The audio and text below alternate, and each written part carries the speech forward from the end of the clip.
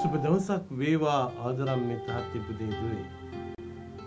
අද හිමිදිරි උදෑසන ඉඳලම වෙඩි හඬ රතිඤ්ඤ හඬ ඇහෙන්න පටන් අරගෙන. හැම කෙනෙක්ම ලහි ලහියේ නත්තලට ලකලෑස්සි වෙනවා.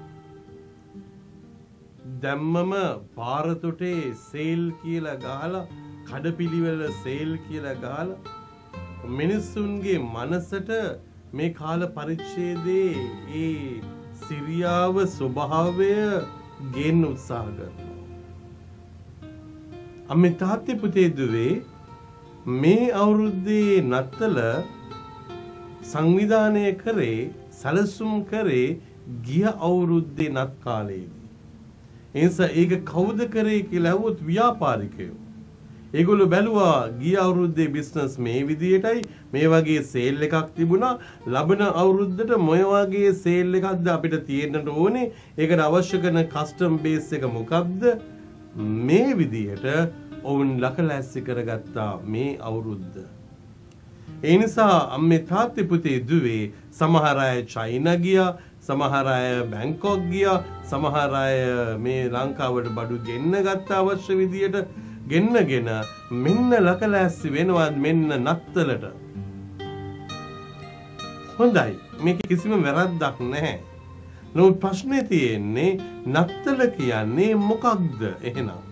ක්‍රිස්තුස් වහන්සේගේ උපත සැමරීම නම් සාමයේ කුමාරයන්ව පිළිගැනීම නම් පාපයට සමාව දුන්න සමාදානයේ ස්වාමින් වහන්සේව අයිති කර ගැනීම නම් මේ කාල පරිච්ඡේදයේදී එහෙනම් අද පළවෙනිදා ඉඳලා නේ විසිපස් වෙනිදා වෙනකම්ම ලොකු ඥානකාන්තියක් කරන්නට ඕනේ.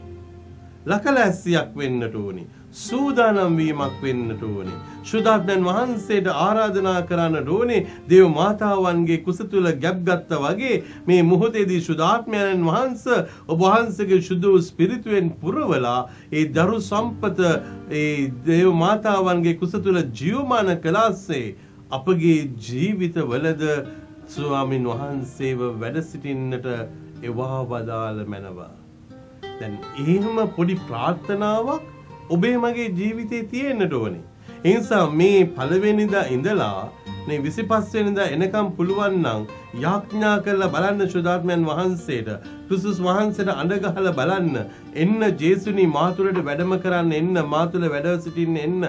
මගේ දුර්වලකම වහන්සේ දන්නවා අඩුපාඩුකම වහන්සේ දන්නවා. මගේ ජීවිතේ තියෙන නොහොබිනාකම වහන්සේ දන්නවා. ඒ සියල්ලක්ම පවිත්‍ර කරන්න පිවිතුරු කරන්න පිරිසිදු කරන්න නිදහස් කරන්න ඔබ වහන්සේ වැඩම කරන්න ස්වාමිනී කියලා. එහෙනම් මාසයක් තිස්සේ ඔබ යාඥා කරොත් ඔබ ඉල්ලුවොත් රත්තරන් පුතේ දුවේ අම්මේ තාත්තේ ස්වාමින් වහන්සේ නත්තලට අවශ්‍ය කරන්නා වූ ඒ සැබෑ ප්‍රීතිය උන්වහන්සේ දෙනවා. එහෙනම් මේ නත්තල කියන්නේ සමරන්න ඕන දෙයක්. ඒ ජීවිතයට ඇතිවෙන්නා වූ අභ්‍යන්තරීක නිදහස සහ පරිවර්තනය වෙනුවෙන් එනිසා මේ කාල පරිච්ඡේදය මේ මාසේ පුරාවටම එහෙනම් අම්මේ තාත්තේ පුතේ දුවේ ඔබ දන්න හඳුනන හැම කෙනෙක්ගේම ජීවිතවල තියෙන යහපත් දේවල් ටික ඔබේ ජීවිතයට අයිති කරගන්න. ඔබේ ජීවිතයේ තියෙන යහපත් දේ වර්ධනය කරගන්න. ඔබට කරන්න තියෙන පැවරලා තියෙන යුතුයකම් ටික ඉෂ්ට කරන්න. ඒ නිසා මේ මොහොතේදී ඔබේ ජීවිතය තුළ මේ වටිනාකම කියන දේ ඇති කරගන්න. වටිනා වස්තුවක් බවට පත්වෙන්න. එතකොට තමයි රත්රන් අම්මේ තාත්ති පුතේ දුවේ ස්වාමින් වහන්සේව සමරන්න පුළුවන් වෙන්නේ. එනිසා මෙන්න මේ ක්‍රිස්තුස් වහන්සේ සමග ඒකා බද්ධ වෙලා උන්වහන්සේගේ ආදරයේද ශුද්ධවන්තකමද නොකැලැල්භාවයේද අපි තියාගන්නට ඕනේ එපිසි එකේ හතර කියනවා වගේ. ලෝකේ මවන්නට ප්‍රථමයෙන් ඔබ ශුද්ධවත්ව නොකැලැල්ව ප්‍රේමයෙන් යුතුව සිටින පිණිස ක්‍රිස්තුස් වහන්සේ තුල තෝරා ගත්තයි කියලා කිව්වා. එහෙනම් මේ නත්තලේදී මෙන්න මේ ආදරය ඔබේ මගේ ජීවිතය තුළ ජීවමාන වෙන්නට ඕනේ. ඔබගේ මගේ ජීවිතය තුළ නොකැලැල් භාවය පිළිමිමු වෙන්නට ඕනේ. ඔබේ මගේ ජීවිතය තුළ ශුද්ධවන්ත භාවය හෙළිදරව් වෙන්නට ඕනේ.